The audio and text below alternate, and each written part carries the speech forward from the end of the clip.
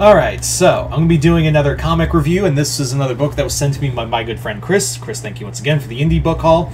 And today we're going to be talking about Lonesome Days, Savage Nights. This is another uh, indie book from uh, TKO Studios. I had just reviewed, the last one I did of them was Sentient by Jeff Lemire, and that book was awesome. So TKO Studios might be a stu- might be a comic group I might keep my eyes on. They've done, they have other books that really interests me, like one called Black Mass Rising, which is dealing with the aftermath of the Romanian village that was being terrorized by Dracula, and it deals with the aftermath uh, after Dracula's death. Or was he dead? So that's one um, I really want to read. Another is uh, by Garth Ennis called Sasha or Sarah. It's it's some it's a woman's name um, about a Russian sniper in uh, World War II. That looked really cool even though I'm not the biggest Garth Ennis fan, um, that does interest that comic does interest me, and there's a few other books uh, from TKO Studios that um, really caught my interest. Again, TKO Studios might be a comic, uh, an indie comic group I might keep my eye on for a while. Anyway, so what is Lonesome Days Savage Nights? Lonesome Days Savage Nights is a werewolf noir story written by uh, uh Steve Niles and uh, Salvatore Simeone with Sizemore Kurdansky on artwork. Now, I'm going to be, this is volume two, and I'm going to be basically talking about volumes one and two together. I don't know if volume three has come out yet. I don't even know if they have a third volume. But yeah, Steve Niles is a horror writer who most of you guys would know best as the writer, as the creator of 30 Days of Night.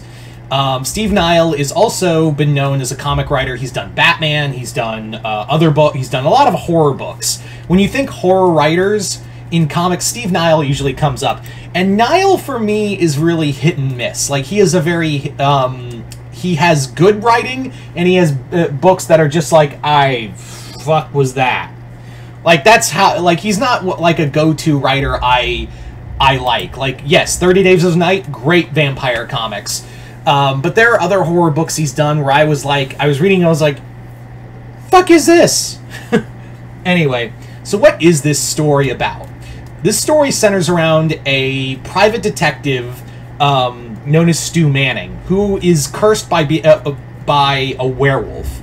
He is he during his time as like a rookie beat cop, he was attacked by a werewolf, and the um, resulting the result was the cops laughed him out of the office and he was fired. He became a private detective but his lycanthropy happened soon after leading to his own wife audrey helping him calm himself and tame the beast. Well sadly audrey is sad is sadly killed by a gang uh, by the law order of a crime of a crime group led by a mafia boss not on purpose. She was just kind of caught in the crossfire. But yeah, this is just basically the crow with a werewolf. That's literally what this is. The crow with a werewolf. Um, the werewolf itself, the, I really like the werewolf design in here. It's very reminiscent. It's like a more updated version of the Wolfman uh, Lon Chaney's Lon Chaney Jr.'s Wolfman design. Um, it does it, like it does kind of almost remind me of the 2010 remake of uh, the Wolfman. But yeah, um, Stu Manning is this. Uh, he's just now hunting these gang members, and it's more of it, like I said, a werewolf noir story. It's a bloody, violent comic. Um, it's a story that has a lot of like dark ink to it. It's it's a very like dark. It feels like a darkly lit story. Not, a lot of um, blacks and purples and and uh, gray.